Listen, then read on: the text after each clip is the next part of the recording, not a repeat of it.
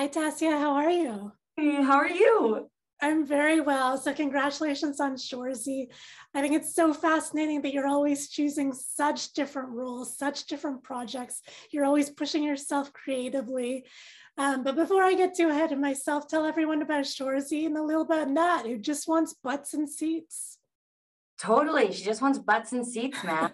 so, Shoresy is about a hockey player who goes to Sudbury to play in the No Show, which is the North Ontario Senior Hockey Organization.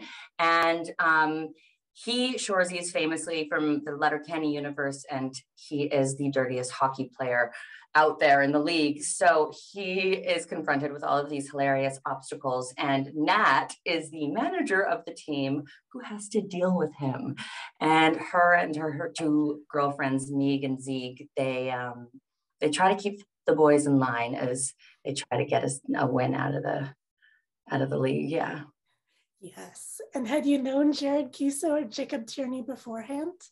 You know, I think there was like some moments we might have brushed by each other, but we didn't really know each other. No, not too well previously.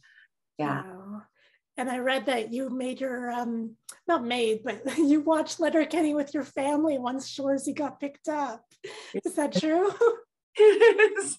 It is. My mom was dying laughing. She's a big Kids in the Hall fan.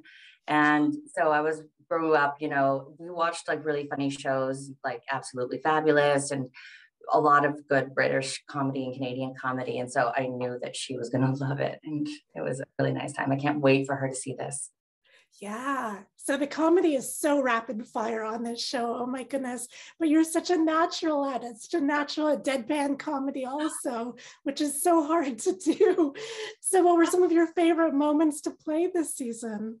Oh my gosh. I mean, we are talking about it yesterday because Har- uh, Harlan and I, I play Sanguinet Sanger. We went home and we watched, or home back to the hotel and watched a few of the episodes again together. And we were reminiscing together as because um, I only had seen it by myself on my laptop. I was sitting, you know, in Los Angeles watching it when it came out um, a few days ago for the cast, and then I got to sit there with him yesterday. And there's, I mean, any scene that has Mark Michaels in it, who plays the goalie, is hilarious. And I almost immediately start cracking up before the scene even starts. Like as soon as I see his face, I just, I'm like, this is to be a good moment. I just start cracking up. so funny. I love it. And I read that the guys all got matching tattoos together. Is that true? Yes. I remember being like, oh, well, we'll circle back on girls. or maybe the girls will get like their own version of it or something. yeah. Yeah. So I imagine that the show gave you like not only a newfound appreciation for hockey, but also the GMs and the coaches. Totally. Absolutely. You know, it's not too far off in terms of I have a restaurant in Vancouver and in Toronto, and mm-hmm. you know, mm-hmm. when you're managing a group of people, a team of players, it's a similar kind of strategy. But definitely when you're dealing with a hockey team and it's just a league full of chirping men, it certainly carries a different energy than, uh, you know, a restaurant. But um, it, it, yeah, it is, it is what it is. Yeah, yeah. But I also read it just it felt like a family on um, on set that everyone just like, you know, you're you're shooting I can't say the word. you're, you know, you're you're you're giving each other like insults on screen, but then off oh. screen, everyone's just like a family. Everyone's together. Everyone's in it. So, what was it like working with the cast? I mean, Jared does such a good job of creating this vibe and this energy on set to work with.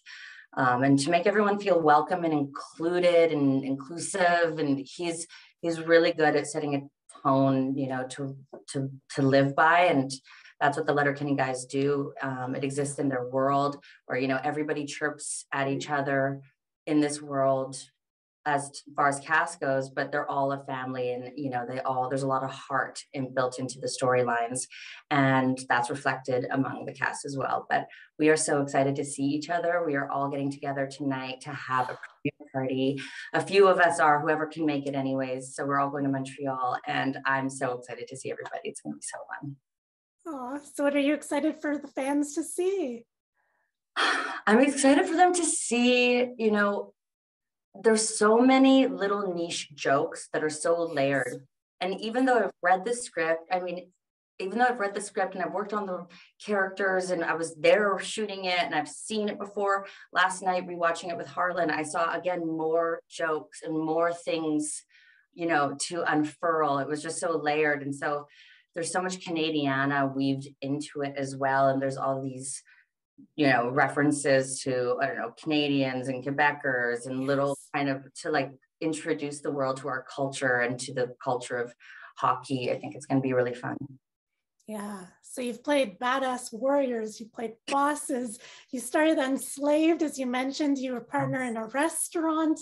I know a lot of people are really happy with how you talk about self care so openly and so honestly.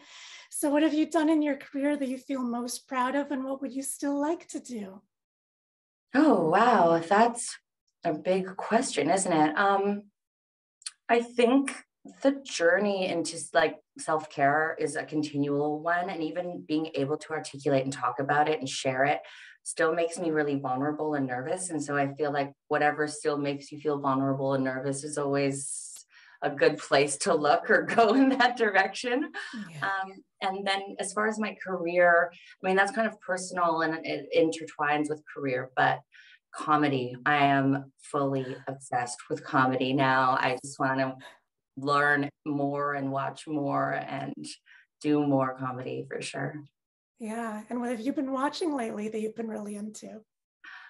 I well, I just saw Dave Chappelle last week at the Hollywood Bowl, which was an amazing uh, stand-up uh, show he did with Jon Stewart and Chris Rock, and it was incredible. And I revisited, I think it's called Broad Street, two girls that live in New York. Yeah, so I just started watching that again. I'm circling back to you know go back to female comedians and and see what they're up to. I love that. Well, I can't wait for everyone to see you on Shore Shoresy. Thank you so much for everything that you do. Thank you for the art you bring into the world. I really appreciate it. Have a lovely day. Thank you for this. Thank you.